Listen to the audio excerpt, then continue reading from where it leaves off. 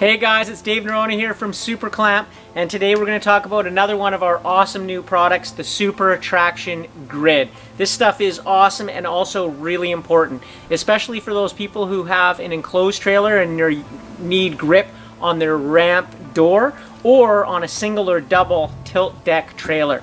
The traction grid goes in the middle of, of the trailer where the track would runs up or down and it provides grip to allow it to do that. Without it, it's usually just sliding on the plywood or the aluminum and that can be really dangerous if it does catch.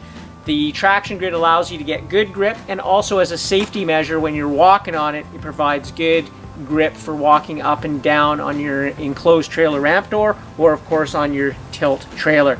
For all you ATVers out there as well in the summertime, you can mount this on any one of those surfaces uh, to get better grip with your ATV wheels. So super easy to install. In the box, you get four pieces of the traction grid and all the hardware to mount it. So check it out online at superclamp.net or visit your local dealer and we'll see you out there.